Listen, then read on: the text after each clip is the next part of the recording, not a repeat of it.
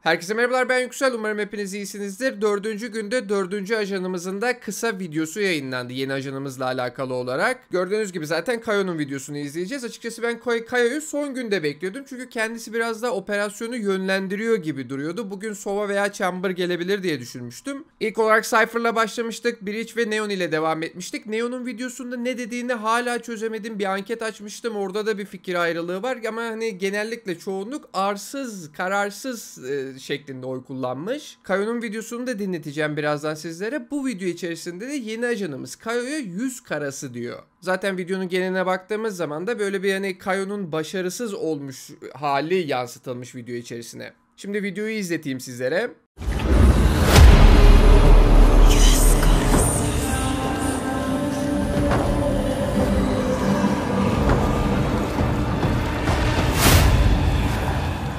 Evet Kayo videomuz bu şekilde. Bundan sonra da bir sıkıntı olmazsa farklı bir şey denemezlerse Chamber ve Sova'nın videolarını göreceğiz. Özellikle Chamber'ın videosunu gerçekten çok merak ediyorum. Dediğim gibi bu kısa tanıtımlar bittikten sonra da tam bir sinematik yayınlanacaktır. Bu sinematik olayları kısa videolar dışında Valorant Türkiye kendi he- sosyal medya hesaplarının tasarımlarını da değiştirdi. Aynı zamanda eğer değiştirmek isterseniz de yine Instagram'dan, Twitter'dan duvar kağıdı olarak ayarlayabileceğiniz görseller paylaşıldı. Hani Valorant Türkiye'nin sosyal medya hesaplarına bakabilirsiniz. Yine bana Twitter'dan özel mesaj yoluyla yollayanlar oldu. Aynı zamanda Twitter'dan paylaşan bir sürü arkadaş da var. Bu yeni ajan ile alakalı afişler Türkiye'deki çeşitli şehirlerde çeşitli noktalara eklenmeye devam ediyor. Sizin yaşadığınız şehirlerde de bu tarz afişler asılıyorsa bunları yorumlar kısmında belirtebilirsiniz. Hani hemşerileriniz bu şekilde gidip hani o afişlerin fotoğrafını çekebilir eğer bu tarz bir hatıra vesaire istiyorlarsa. Son olarak da dün gece bir hotfix geldi. Bu envanterde bir hata vardı. Bunu geride bıraktığımız videolarda bahsetmiştim. Bu hata düzeltildi. Bununla birlikte de Yoru'da bir hata vardı animasyonuyla alakalı klasik bir şekilde. Bu hataya da küçük bir düzenleme geldi fakat 4.08'de daha büyük bir düzenleme gelecekmiş. Benim bu videoda bahsedeceklerim bu kadar. Video ile alakalı ve genel olarak konularla alakalı neler düşünüyorsunuz? Bunları yorumlarda belirtmeyi, videoyu beğenmeyi, kanala abone olmayı ve bildirimleri açmayı unutmayın. İzlediğiniz için teşekkürler ve iyi günler. Kendinize iyi bakın.